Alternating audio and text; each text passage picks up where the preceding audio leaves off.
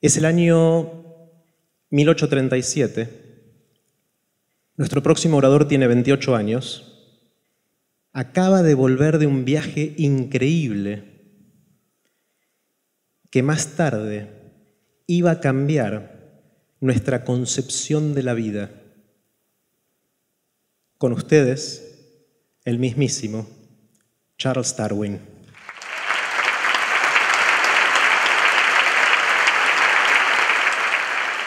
Queridos colegas, amigos, acepté esta invitación para hablarles de una idea que poco a poco ha venido madurando en mi mente. Es una idea que considero peligrosa, solo porque sé que ustedes son personas de confiar, gente de mente abierta que sabrá apreciar lo delicado de la cuestión. Es que me atrevo a exponerla, todavía en un estado inacabado.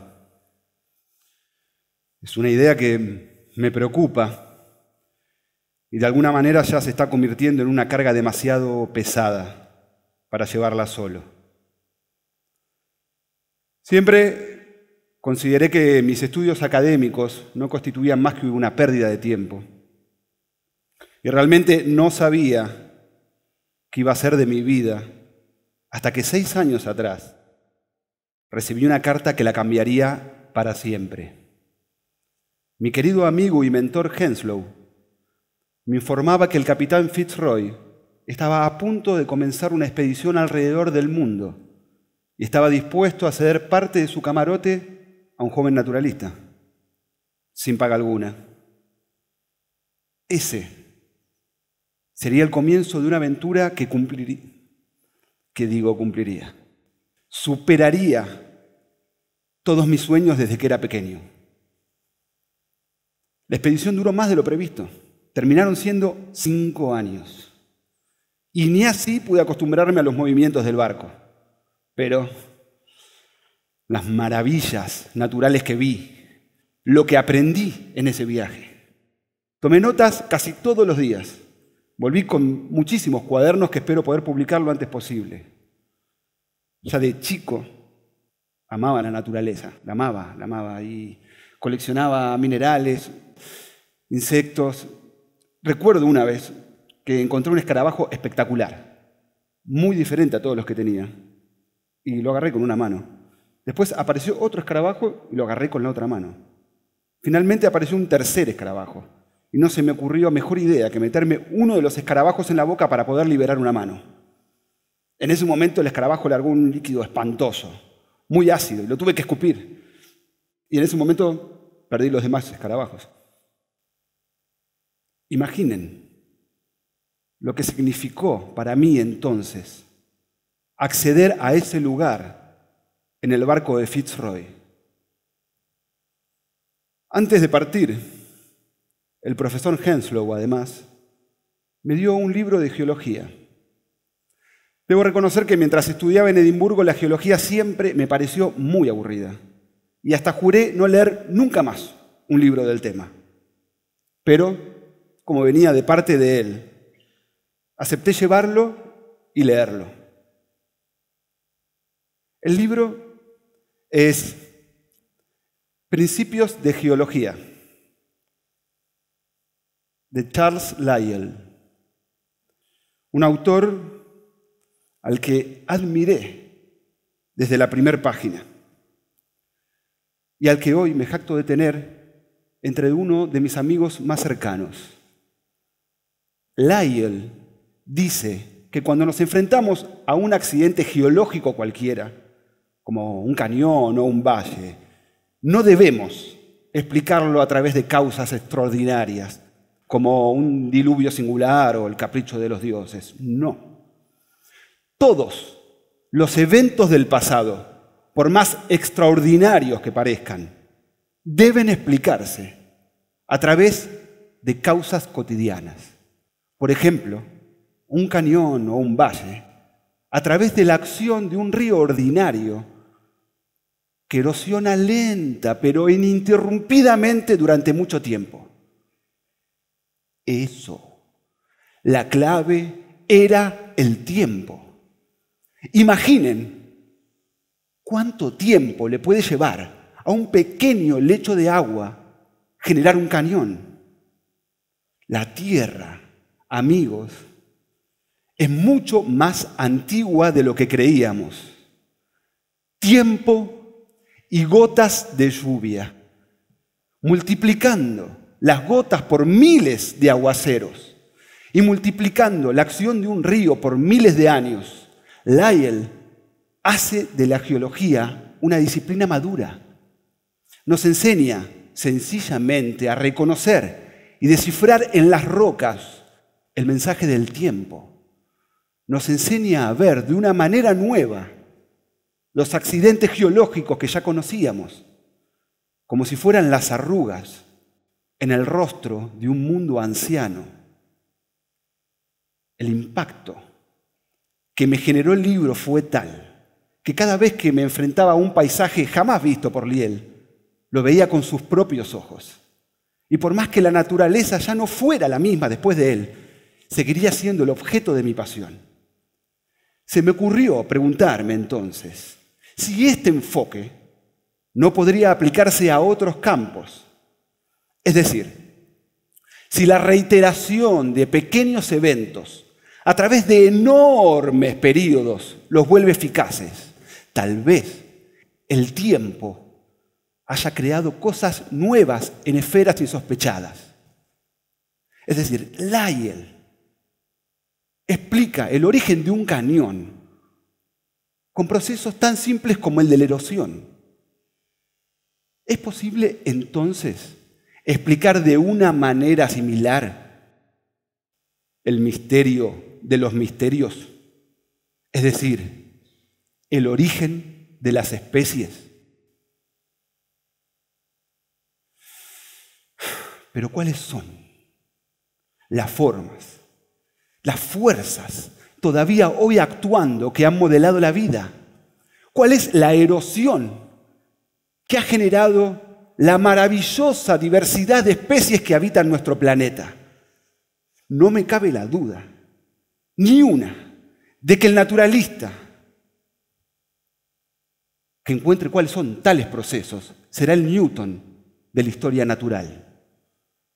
Pero mientras me hacía estas preguntas durante el viaje, empecé a notar ciertos indicios en la naturaleza, sin todavía poder entender sus significados ni sus implicancias, como un detective que llega a la escena de un crimen que no sabe que fue cometido. Les estoy hablando de la peligrosa idea que vine a contarles.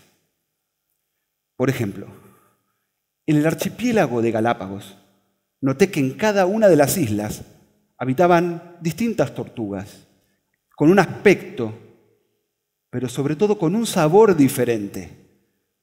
Más de uno se enorgullecía de reconocer de qué isla venía la cena con tan solo probar un bocado. Para muchos no eran más que caprichos del Creador. A mí me inquietaba. Yo necesitaba encontrar otra respuesta. Tenía pistas para una nueva idea, pero esta idea no maduró durante el viaje, no, sino después, y por un hecho fortuito. Le había enviado toda mi colección de aves del viaje a un experto ornitólogo para que las catalogara. Dentro de la muestra había una serie de pequeños pájaros, pinzones, que había recolectado de las cuatro islas que había visitado en Galápagos. En cada una de las islas los pinzones presentaban distintas modificaciones. La idea que se me ocurrió, la más razonable, era que los pajaritos habían llegado desde el continente y se habían ido adaptando a los diferentes ambientes de cada isla. Nos enseñaron dogmáticamente que nunca una especie puede transformarse en otra. Sin embargo, el experto me dijo que a pesar de sus parecidos, no eran variantes de una misma especie, sino especies diferentes. Las modificaciones que los pinzones habían sufrido en cada una de las islas habían logrado lo que creíamos imposible, el cambio de especie. ¿Será entonces que los mecanismos ordinarios que producen las modificaciones dentro de cada una de las especies son capaces de crear especies diferentes si les damos el tiempo suficiente? Pensé en cómo los taxónomos agrupan las formas de vida. Las variedades en especies, las especies en géneros, los géneros en familias.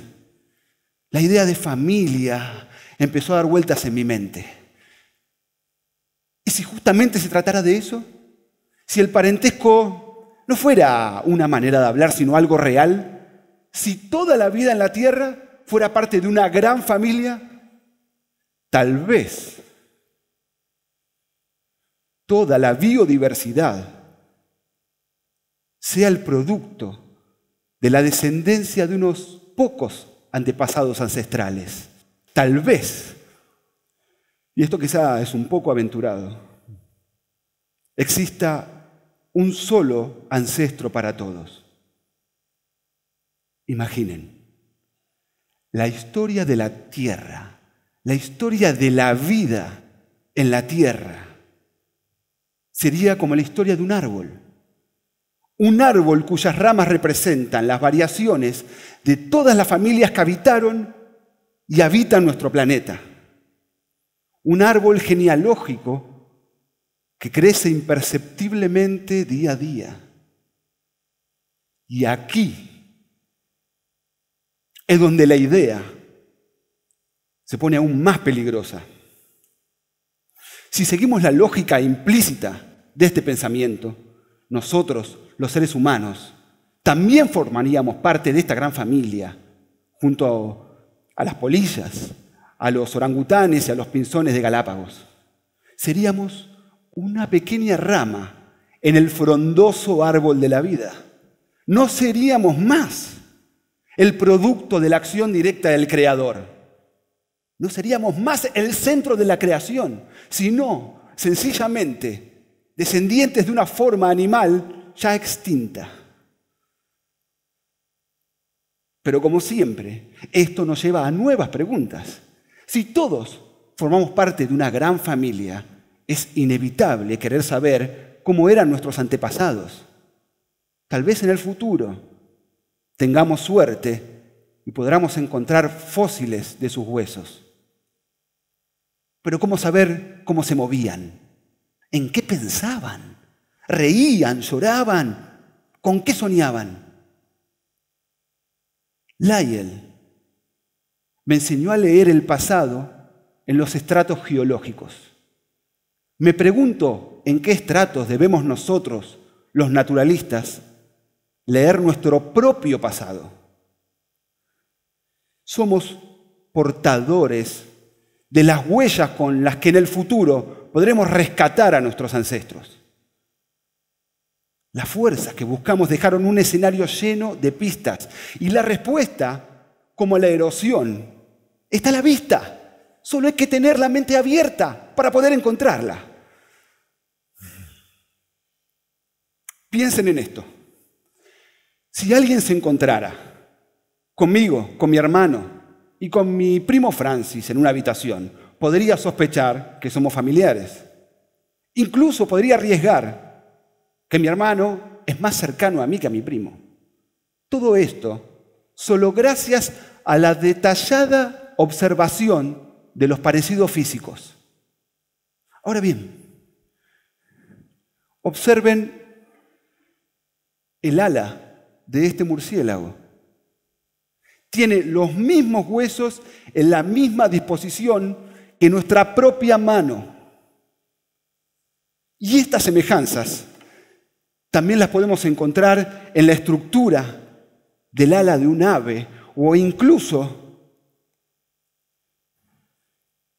en un reptil ya extinto. A mi modo de ver, estas semejanzas se dan porque son heredadas de un organismo en común, el organismo del cual descienden. Y estas semejanzas reflejan una relación genealógica. Aves, mamíferos y reptiles son familia. Y también podemos deducir que los murciélagos están más cercanos a nosotros que a los reptiles o a las aves, como lo es mi hermano más cercano a mí que a mi primo. Y otra cosa muy importante, si alguien nos observara, a mi primo, a mi hermano y a mí, podría imaginar, aún sin conocerlo, características de mi abuelo. Nosotros, examinando estos huesos, podemos saber características del organismo del cual descienden, como por ejemplo que tenía una columna vertebral, que ciertos huesos estaban conectados a otros, etc. Y no es posible este mismo método aplicarlo más allá de los huesos. No hablan los bostezos que muchas veces nuestros fieles perros nos contagian de nuestros ancestros. No es significativo que nuestros gestos de indignación mostremos los dientes como queriendo mostrar enormes colmillos que ya no tenemos. Quizás un gesto que perros y humanos heredamos de un antepasado compartido. Y los perros que nos acompañan en nuestras casas y que sentimos parte de nuestra familia. ¿Quién diría que realmente son nuestra familia? ¿Y quién diría que no lo son también las perdices, en las que tanto humanos como perros hincábamos nuestros dientes? Sé que me falta encontrar una explicación a la manera de Lyell que dé cuenta de cómo se producen estas modificaciones, estas ramificaciones en el árbol de la vida.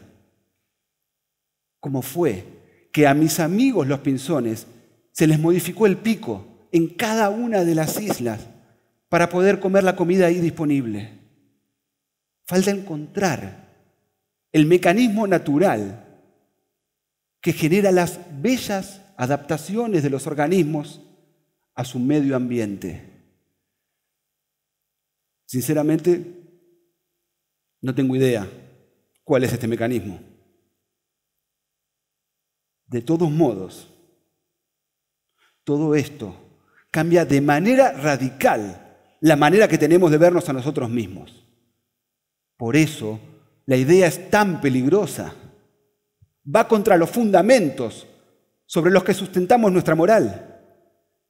¿Cómo podría yo compartir esta idea con personas que todavía piensan que somos el centro de la creación?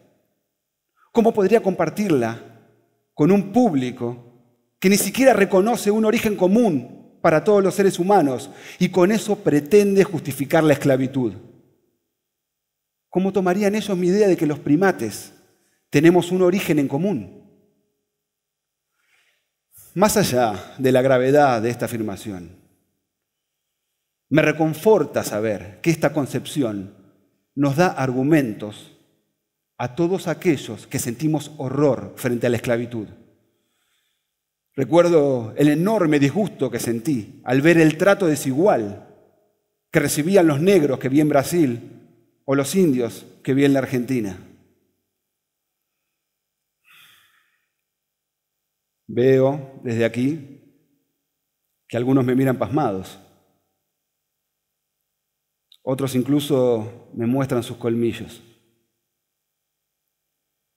Otros, curiosamente, parecen satisfechos con la idea.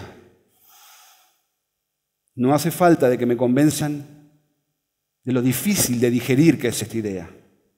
Tira por la borda mucho de lo que aprendí en mis años de formación y mucho de lo que probablemente ustedes también aprendieron.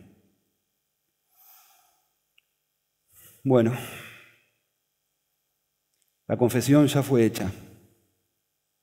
Y digo confesión porque haberles contado mi idea es para mi conciencia y para mis temores como haber confesado un crimen. Gracias.